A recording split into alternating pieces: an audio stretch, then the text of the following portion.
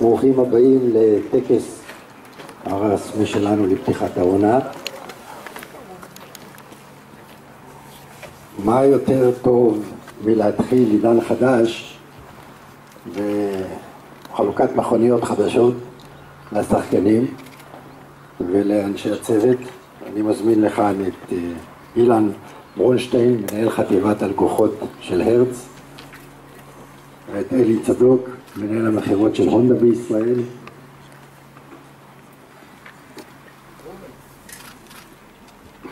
תודות לשתי המאמצות העיקרות שלנו, הונדה והרץ, אז אנחנו מחליפים היום את המכוניות ונמסור בעוד דקות אחדות את ספינת הדגל שלנו בהונדה, את ההונדה סיביק חמש דלתות.